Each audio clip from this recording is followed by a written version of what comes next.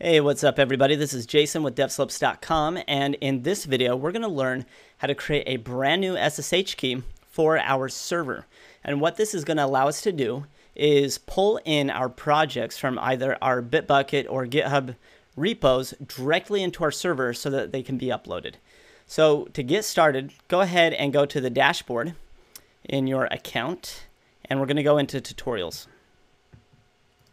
And we're just going to type in SSH key how to set up an SSH key on Ubuntu 18.04. All right, go ahead and click that. And we're going to start from here and we're just going to create our key.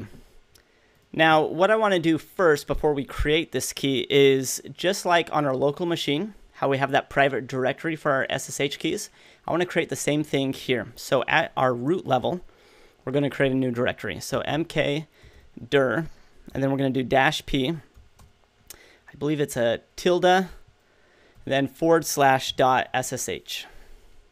All right, go ahead and press enter. And then if we list it out, it shouldn't be there because it's private. However, if I do cd.ssh, haha, I'm in it. Okay, cool. So it created it. Excellent. Now, now that I'm in here, let's go ahead and create this key. All right, so we're going to start from step one here. SSH, SSH keygen. It's like a tongue twister. All right, and we're just going to name it this. This is fantastic. And I'm going to leave the passphrase empty on this, and it has generated our key for us. So now what? Now we want to copy the public key to the Ubuntu server. Okay, and we're not going to do it this way because it's not password protected. We're going to do it the manual way, which is going to be like this. So we can go ahead and copy this. And what I'm going to do here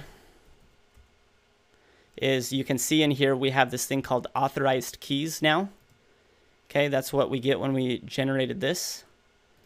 I'm going to go into the root directory because this command here is starting me at root. You can see that it's uh, navigating me a directory in to my SSH.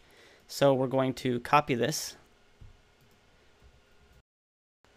So I'm going to paste this.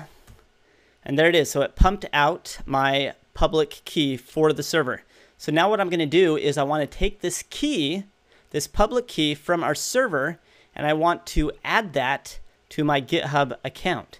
So let's copy that and then go over to your GitHub or Bitbucket account.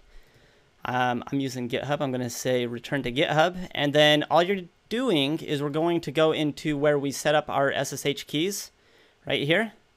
And we just want to now add that public key from our server. So we'll just call this droplet SSH. And I'm going to paste in the public key, add the key, and there it is. So now what we've done is we can now from our server because this key, this fingerprint here, is authorized on my account, I can now go and pull any of my GitHub projects directly into my server because we've added my server's public key here. So pretty cool stuff. We're all set up. That is how you install an SSH key onto your server and add the key to your GitHub or Bitbucket account.